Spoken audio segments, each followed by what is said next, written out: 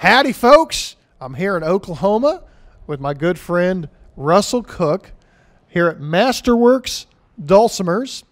Uh, Russell actually inspired me to play when uh, I was four years old. I heard a cassette tape of his, just gorgeous, and I said, "Mom, I promise I want to learn to play that." So Russell and I have known each other Indeed. for years now. It's been exciting watching you grow as a person and as a dulcimer player, and now as a performer, entertainer, and uh, uh, world traveler with the dulcimer. So it's exciting. I've been having a lot of fun with Joshua this last four years, three, four years now, developing something new.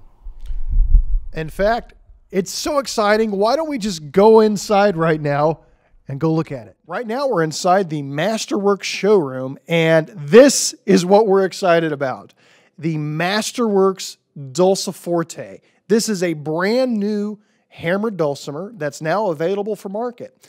Now, some of you in some of my YouTube videos, you may have been seeing me play this. That's because Russell and I have been working on uh, developing on the, developing this instrument for a while, and there's been a lot of prototypes that I've been testing out. Russell, do you want to tell them a little bit about how we've been working on this? Certainly. We uh, started off talking about how to tune it, what what the tuning should be, what uh, the the layout of the notes. Should the extended range bridge be on the right side? Should it be on the left side? And uh, even then was how many notes do we put over there? How many notes do we put on the upper left? Uh, we talked about the overall size, the overall range, which uh, in this case is a five octave going from A1, All the way up to A6. five octaves of range. And uh, from there, bridges, soundboard material, which has everything to do with the tone of the instrument. Um, the shape, this is the asymmetrical shape, which is so popular now. The spacing of the strings was big. That's a big deal. So That's there's just so deal. many different things that, that goes into designing an instrument. And I know what I like. I know what I wanted, or I thought I did, until I started talking to Josh and some others about how they would like the instrument. But Josh and I have been working really closely together the last four years, and I'm real proud of it. It's it's wonderful. Well, I'm just going to share with you a couple of the things that I really like about this instrument. Uh, the first things first is is the balance. One thing that makes a good hammer dulcimer great, okay, is how well is the instrument balanced between the first octave, the second octave, the third octave, all the way up to that fifth octave range does it sound like the same instrument? And one thing that just bothers me for a while is a lot of instruments that I've played, it's like I'm playing two dulcimers. Sometimes it feels like it's even three dulcimers.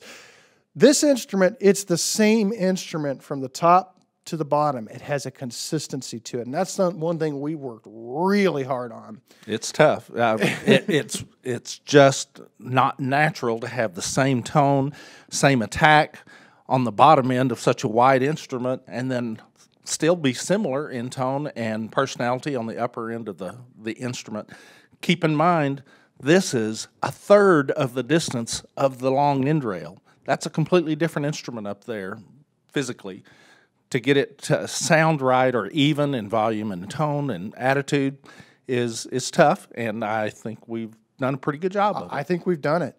The other thing that I love is, is the clarity. So many times we get we frame things as okay, how much sustain does the hammer dulcimer have? And there's val there's validity to that, but I think there's a better way to think about that, and that is the clarity of the instrument. Because all hammer dulcimers have sustain. When I play a note, how clear is it? And when I play a note after I've played a note right before it, so when I go like, you know, to the next one, does the next note have a presence and do the harmonics cover up the, uh, the, the one that came right before it? So, in other words, when I play a note, there's not mud, there's a clarity throughout the instrument. That's so wonderful for me because I can still have a beautiful controlled sustain, clarity, great tone, balance throughout the instrument. And then the, the last thing is, oh, well, there's a lot of things, but the last thing for now is these dampers. Um, I absolutely love this damper technology. It has real easily right here. You can remove the little uh, holder that keeps them in place when you're traveling, and then you can just take a cable and connect the dampers. and uh, play it with a uh, literally it's a bicycle cable. Play it with your foot. So the responsiveness of these dampers is unbelievable, and I think the best that I've ever used. And it allows me to have control not of not only of just are the dampers muting the strings or is it open, but in between stages, a little bit of a mute uh, or a lot of a mute, whatever I want. And then when I do engage the dampers, the sustain stops. Okay? It's not immediate, but it's close to immediate. In other words, it allows me to not just use the dampers as a sound or a different timbre, but if I'm doing a chord change uh, that is dissonant, uh, it allows me to control the instrument in a way that's I have to say I've been really impressed with Joshua and others, but especially Joshua. Um, I, I, was noticing at Winfield uh, just a couple of weeks ago how often he was using the dampers, but at times I didn't even really recognize that the damper was in in the process at all. But he was just touching it here and there to eliminate the previous chord before going to the next chord without just deadening it.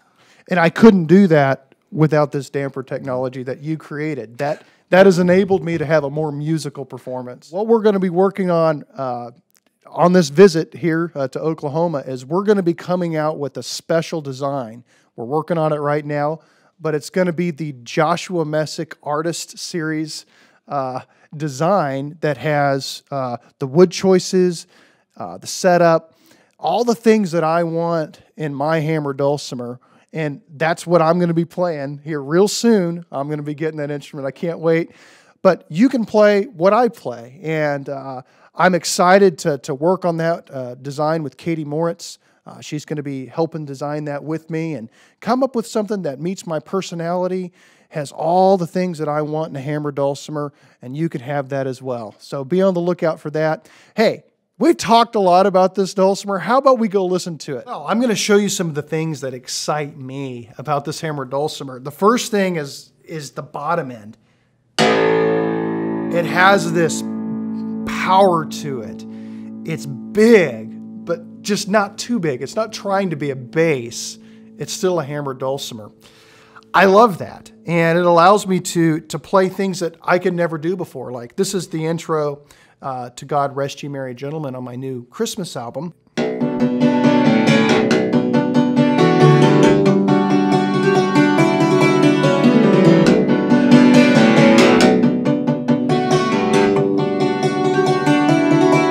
The next thing, as we talked about extensively already, are the dampers, which you just saw me using.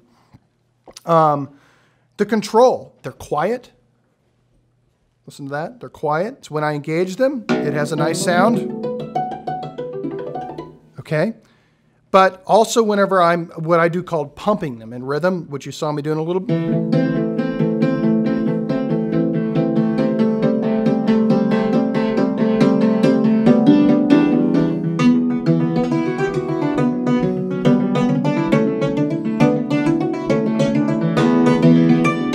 if I'm changing a chord, going from, say, a G to a C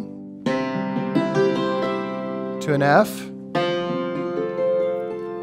You hear that, how it's just nice and smooth back to the A.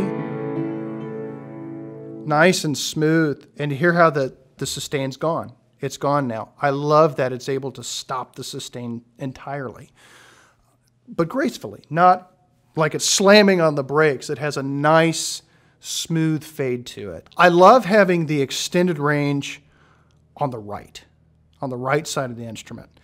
Because let's say I'm playing a G chord. So G, D, G, okay? I can do that with one hand.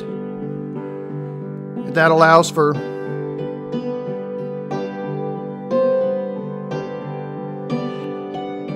Now shift to the C back to the G, to the D, to the G. Hmm. So those are things that I can't play with the bass on the left. And it allows for, I would say, smoother and more symmetrical chording, okay? With the voicing of my chords, there can be a lot of symmetry in the voicing going from the G to the C to the D. There's consistency there. The upper range of the instrument has this that signature masterwork sound to it.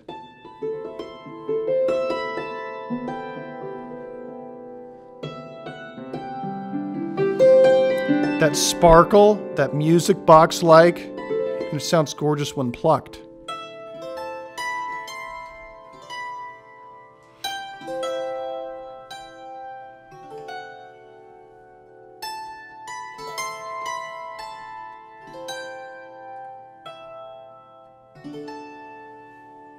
Just love that. This string spacing has been increased from uh, previous Masterworks models. It's a little bit more, not a lot, just a little bit. But that little bit makes a lot of difference in the performance. And when I started playing the DulciForte, my wife Stephanie noticed that I was making fewer mistakes. Well, that's because there's more space between the strings, and what used to be a mistake is now a right note. Um, and whenever I'm not scared of making mistakes, uh, it allows for more musical phrasing. You know, when I'm playing really detailed,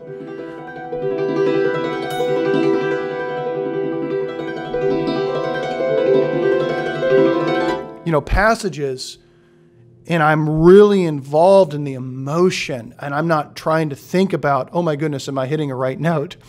That allows me to express myself. If you're interested in this hammer dulcimer, uh, I am a Masterworks sales representative, and I'd love to hear from you and help you uh, buy one of these. So go to my website, joshuamessick.com, and uh, get in touch with me. I'll have some information on there uh, about this instrument, also how to get, hold, get a hold of me, and, and I can help guide you uh, to find the instrument that you love, uh, give me a call. Thank you so much.